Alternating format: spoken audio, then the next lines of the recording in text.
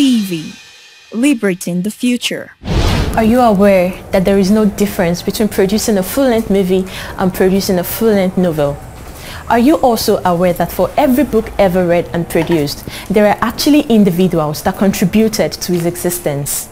We have individuals like the typesetters, the book editors, the marketers and publishers. Today we will be meeting one of the behind the scenes people. His name is Mr. Steve Shaba. He is an award-winning publisher, a quintessential humanist, and the CEO of Kraft Books Nigeria Limited. He has published several books and we are going to see some of these books and we are also going to try to find out what and how it takes to be a publisher. Come with me. Book TV. Good afternoon, sir. Good afternoon. All right, so um, I'd like to ask you a series of questions. Can I go ahead now, sir? Yes, please go ahead. All right, so um, how was growing up like? How was your childhood days? How was it for you? A little bit difficult. but well, let me do some recollection. Okay. Joggle my memory again, I think.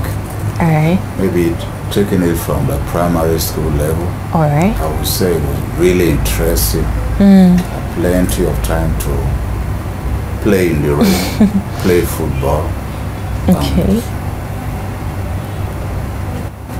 relate, do a lot of home visit, uh, visit one another, and turning back home late. Happily, there was nothing to worry about. Tense of being kidnapped or abducted. Yes. So it was really fun, and then uh, I went to a, a mission school Oh, where the full complement of very good, dedicated teachers. Hmm. So all right. good. Also moving on to the secondary school, also a mission school. Hmm. We had, in fact, teachers who were foreigners, hmm. and I remember I had very, very good language and literature teachers. That probably influenced my choice of Okay. discipline later on in the yeah. university. Right. Yes, we had a literature teacher who was very good. We used to call him William Shakespeare. William Shakespeare. really good.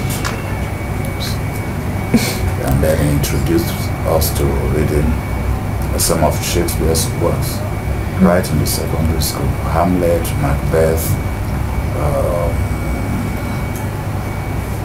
and some other Twelfth Night. So it was really interesting. And of course, leaving the secondary school, All right. I so- become more or less an adult, uh, well, by 18 or so. 18 18 plus. Came back, I came to the University of Ibadan to study. Study. So I guess Okay. I became really free. Mm. Uh, I wouldn't say that's still part of my childhood uh, No worries. years. So Okay. Um, what part of the country did you actually grow up or spend most of your childhood days and everything? uh, I spent my childhood days in Edo State, Edo. Akoko Edo local government area. Okay. A place called Igara. Igara. Yes, a In hilly town. Edo. Yes. Okay. Uh, you said you went to mission school like from primary, secondary. Eh, Sounded like um, your parents were quite um, religious or something, were they? On the eye side? Well, no, I don't think religion had anything to do with it. The mission schools were established and they were for anybody, whether you are a Christian, Could actually or, attend. or unbeliever or an atheist. I mean, you could just attend. The schools were there. Okay. Anglican, precisely. Precisely. Yes. Mm, okay. You started um, having interest in literature from secondary school. Primary school. Primary. Because we had wow. a very Good. we had good language and literature teachers. Mm. Yes.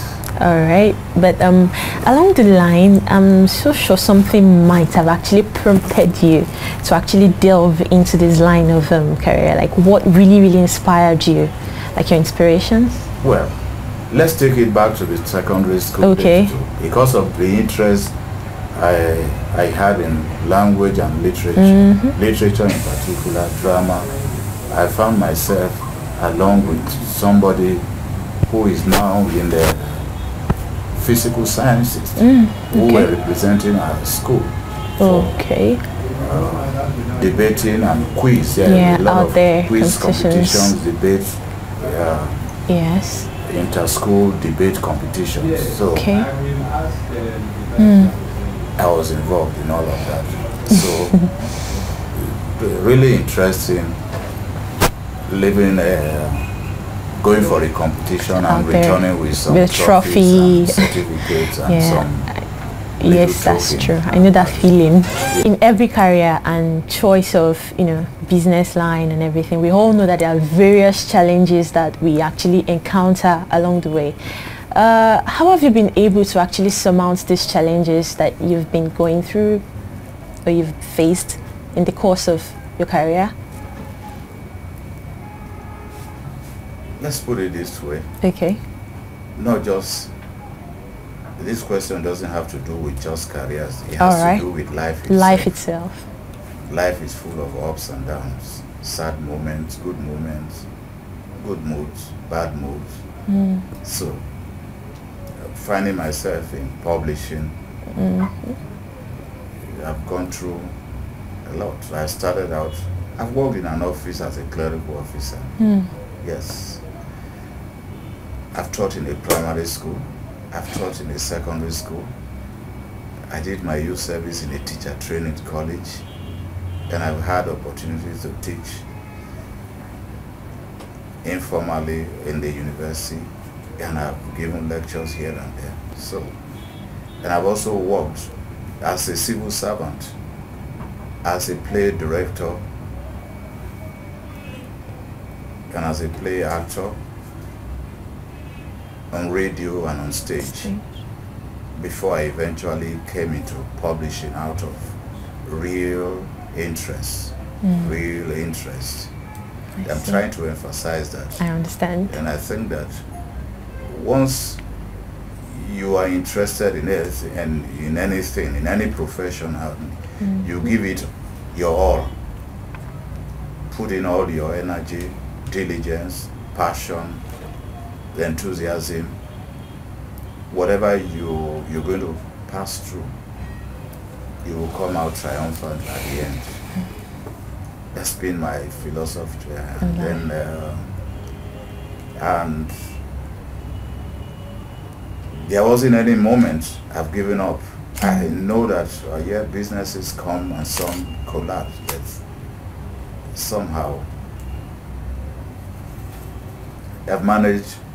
We've managed to weather the storm, Storm. and what we have been doing is to come up with a lot, brainstorm, come up with uh, suggestions how to navigate through the storms, and and somehow we've been doing that. That's really, really impressive. All right, so uh, if there's any other profession you would have actually ventured into, what would it have been? Aside from publishing. to be a teacher, A teacher, a lecturer in the university. university. Yes. Why is that? That was my real ambition in life. Okay. to teach because I've I've been blessed all along, right from my childhood days with very good dedicated teachers, primary mm. school, secondary school, coming to the university. I studied drama and I had the best teachers. I'm proud of them. Drama, English, philosophy. And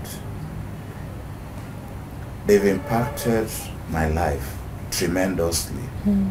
So, we, for, uh, for crying out loud, if you have a very good mentor, you would like to be like the mentor. That's true. Yes, there's no point running away. If I can take you off and go to the scripture, you find a man of God called Elijah, and he had a servant called Elisha. With all the challenges, all the hurdles, Elisha wanted to be like Elijah. That's true. Yes. So That's really, really true. Um, all right, so you're married, right? I'm so Yes, sure of that. married. And you have children. I have children. All right, so uh, any of your children actually towing this um, line of career or something? Um, not precisely. My Oh. first daughter is she's in the, uh, the University of Ibadan. That's cool. She's in the sciences, Oh, okay. but she's Wow. very, very good in the arts. in the I art mean, section. Uh, even from the SS2 level, Hmm. good literature in English, English language, distinctions. Wow, that's impressive. So, she writes poems, she writes plays, she writes stories. So, the second one too, Hmm. who is interested in becoming a lawyer, and then the, other, the third one wants to be an engineer. But the, the good thing about it is that all of them, they love the arts. They read.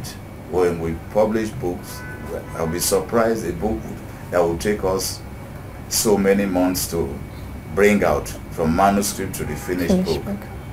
book. Dump dump the books on them. one one in the following day they finished reading a book of over 300 pages That's really, really impressive. to really find out if they understood what you like about this book, what is this book about, and they will tell me. How do you feel about it? Oh, I don't like the ending of this particular one. Oh, this particular book made me cry. Whatever I say, okay, that's good. That's really, So- really nice. what am I trying to say in effect at the end of the day, whatever they end up going to read, these days, whatever you go to read in university doesn't really matter. There's what is Mm. called uh, a gift. True. Your gift can see you through. That's why you have a lot of people who, for instance, a lot of writers in Nigeria, for instance, uh, James Ernest Henshaw was not a literature person, but he was best known uh, for his writings, not even for his medical profession. Cyprian Ekwensi was a pharmacist, but we know him more Yes. as a writer. Yes. So, all over like that, if somebody, uh, Dr. Wale Okediran, a medical doctor, Doctor. but he's known best as a writer.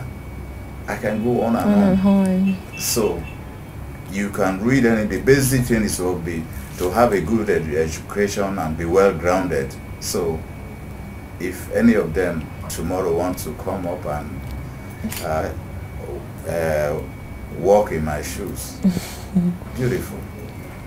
That's good. Do you help them publish their books too in any way? No, no, they are not published. Yes. Oh, okay. All right. Still They're on that starting. line. Yes, oh. I'm talking of uh, 17 plus, Oh. 15, 13. Okay, So- okay. All right, sir. I, w- I would actually like to meet some of your staff. That if you would permit me to. Oh, very well. Why not? All right. Yes. Thank you very much, sir. Okay. Would you want to meet them now? Absolutely, I would love to. Okay. Book TV. You have uh, Mr. Tunde Shaba is in charge of uh, publishing, the publishing manager. Hi, Yes. Mr. Tunde.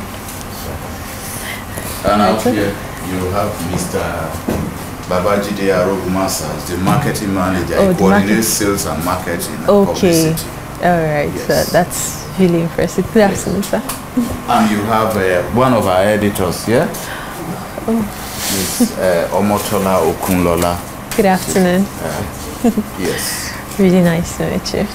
And uh, here you have the typesetting department and uh, head typesetter,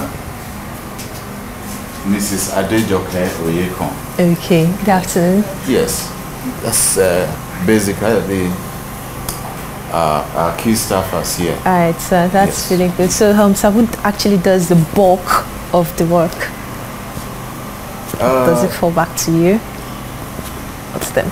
No, the bulk of the work is done by the editors and the typesetters Oh, that's because how. the two make up the publishing department, and then of course you have the support department, sales and marketing, and then you also have the supporting people out there. Out there, okay. Uh, we frame out things for people to do for us. Okay. Printing, and then you have uh, the artists who work for us too.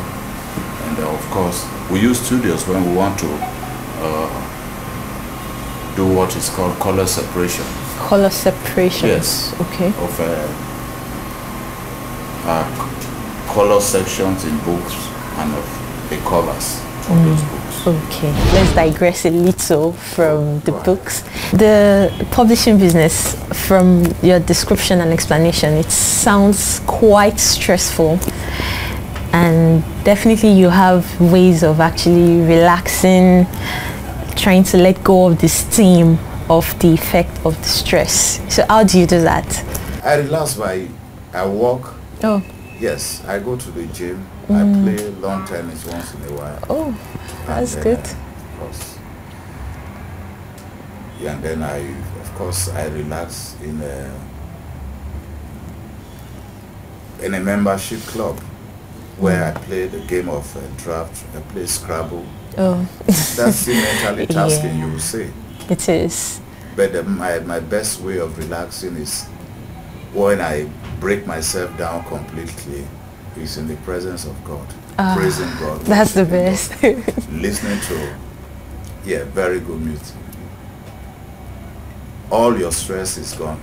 I hope you know that. I it's understand. right there in the scriptures. yes, I do, sir. Jesus Christ said, Come to me, all you that labor, Labor, and I'll give you laden, and I rest." will give you rest. in His presence, you have that fullness of joy. So you'll be Uh, refreshed and you come back to do your work. Mm. Yes. Um, have you ever found yourself in ev- any embarrassing situation ever that has refused to leave your memory? Oh well, yes. Okay. And that, that's a, it was a near-death situation. Oh, Yeah. uh, if you were to be elected the president of Nigeria, what would be the first three things you actually do? The first three things Yes. I will do is to make education compulsory, Hmm. right from the cradle to the secondary school level. Okay. Yes.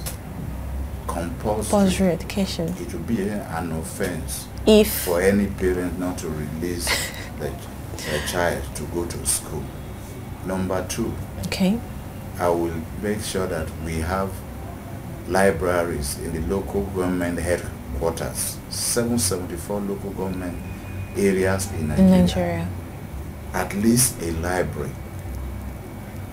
And the government, I'll make sure that government purchases three copies of every published book that, ha- that has been vetted and is good for the sanity and for the of, of, of, the children who are going to read those books. And then the third thing, I will abolish statism in Nigeria. This mm. was state of origin thing. Okay. It's Why is that? us. Then we can move and do one can move and do other things. But these three things are very dear to me. Thank you very much for your time. you. I really appreciate your effort towards the success of this. For the fact that you even gave us few hours out of your busy schedule to even talk to you. Thank you very much, sir.